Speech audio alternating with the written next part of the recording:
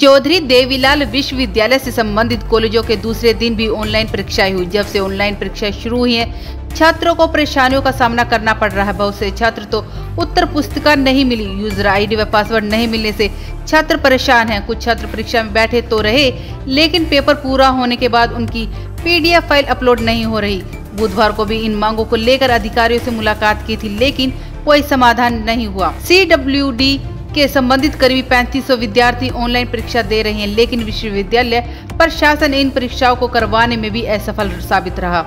अगर शीघ्र ही छात्रों की समस्याओं का समाधान नहीं हुआ तो आंदोलन किया जाएगा। दिक्कत ये आ रही है कि आज मेरा एग्ज़ाम था और आंसर सीट लेने में परसों आई थी। परसों बोला कि आंसर सीट कल मिलेगी और कल जब मैं लेने आई तो ये बोल दिया कि यूनिवर्सिटी जाके पता करो आपका लिस्ट में नाम नहीं है। ये बात हमें परसों ही बता देते तो हम परसों ही को समाधान कर लेते।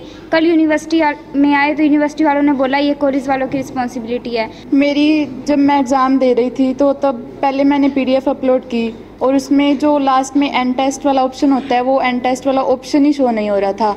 और मैंने टीचर से पूछा कि अब मुझे क्या करना चाहिए? तो उन्होंने कहा कि आप लॉग आउट करके दोबारा लॉगिन करो आईडी तो जब मैंने लॉगिन किया तो उसके बाद मेरी पीडीएफ अपलोड हुई नहीं एक बार भी। सुमित कुमार, अखिल भारतीय विद्यार्थी परिषद से कल चौधरी देवीलाल विश्वविद्यालय की तरफ़ से ऑनलाइन एग्ज़ाम शुरू हुए हैं।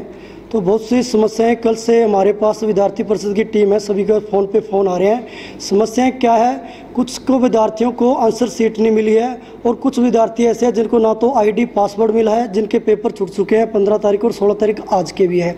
और सबसे बड़ी भारी समस्या ये आ रही है, जो भी विद्यार्थी अपने पेपर कर रहे हैं, तीन घंटे के बाद जो सीट अपलोड करनी है, वो अपलोड नहीं हो रही है उसमें वार्निंग लिखा आता है। सिरसा से सुरेंद्र सैनी की रिपोर्ट।